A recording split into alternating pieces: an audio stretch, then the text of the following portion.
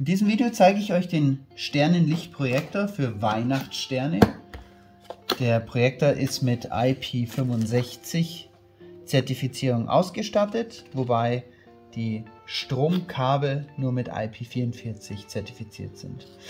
Wir haben hier auf jeden Fall schon mal eine kleine Quickstart Anleitung bzw. eine Betriebsanleitung in verschiedenen Sprachen, Englisch, Italienisch, auch in Deutsch mit dabei. Sehr gut. Also einmal die Anleitung.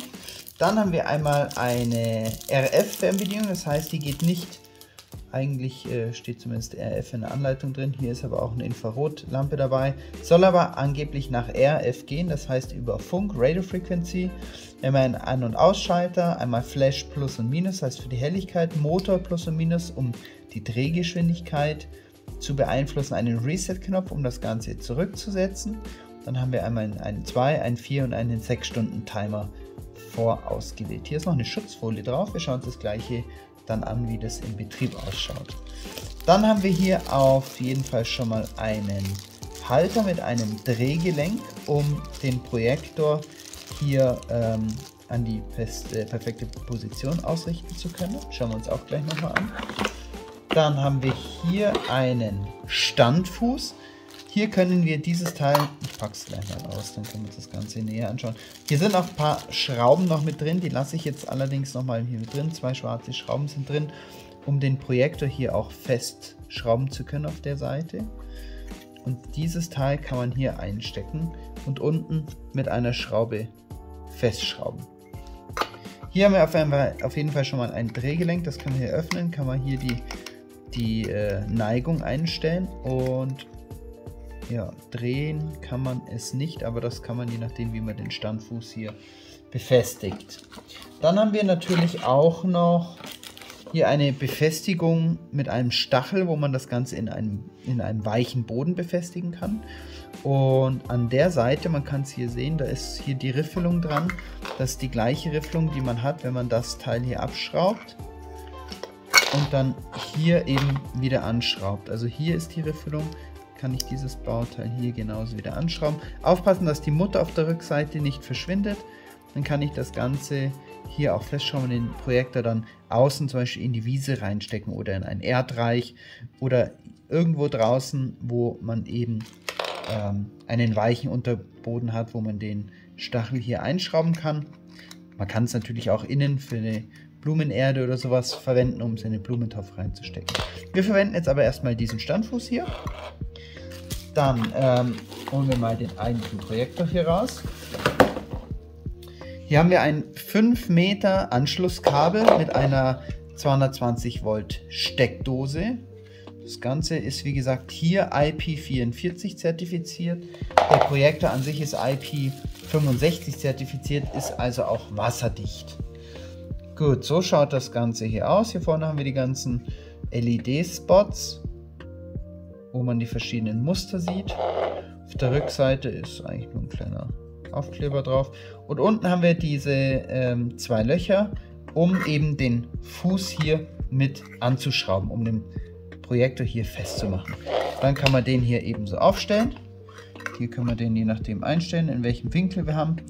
Äh, hier wieder festziehen und dann bleibt er hier so stehen. Genau, das gleiche schauen wir uns jetzt gleich mal an, wie das Projektionsbild ist im zweiten Teil dieses Videos.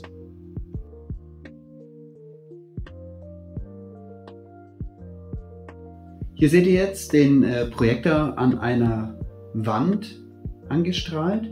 Der Abstand momentan vom Projektor zur Wand beträgt in etwa 2 Meter.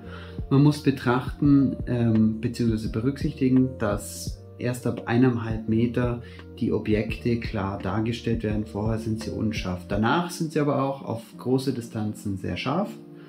Ähm, umso weiter man den Projektor natürlich von der Projektionsfläche wegstellt, umso größer werden die Objekte.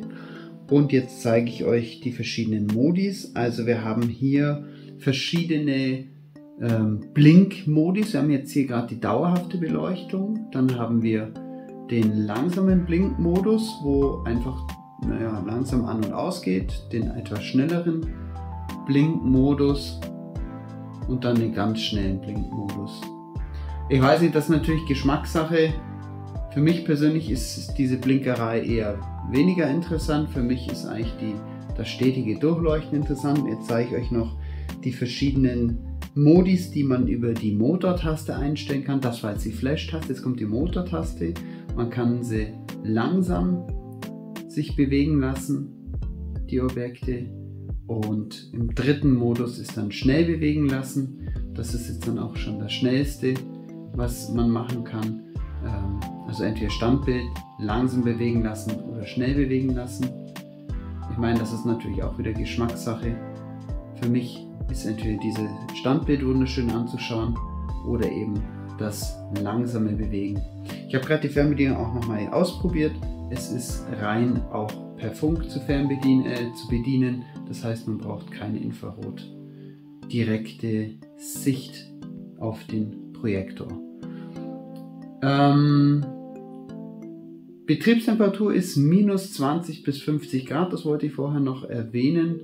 Und ansonsten von der Lautstärke, man kann ihn ganz leise wahrnehmen. Es ist so ein ganz leichtes Kratzen zu hören, aber es ist jetzt nicht ähm, groß negativ auffällig. Wie gesagt, es ist nicht ganz ruhig, aber ganz leichte Geräusche macht der Projektor schon.